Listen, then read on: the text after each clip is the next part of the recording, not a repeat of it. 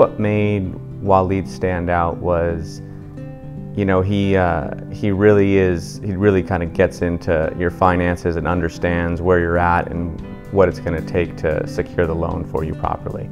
My finances are very difficult to secure a loan because I have a lot of different businesses and a lot of different income streams coming from different areas. So it's not a regular check that comes through. It's very easy to qualify and this is it is what it is.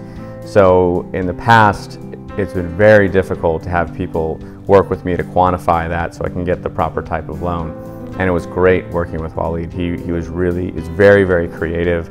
He really sat down with me. He really understood, you know, where are all your sources of revenue? How are they coming in and what times are they coming in?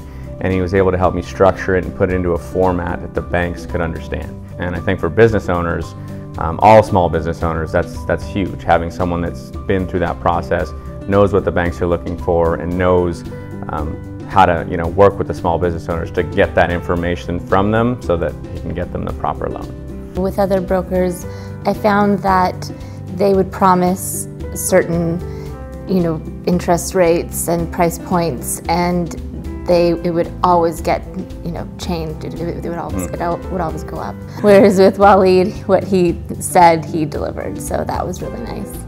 And in this type of market, for us, it was absolutely crucial because the market is so hot right now. So if you can't be there with an offer and have your funding in place, the home's not yours. Period.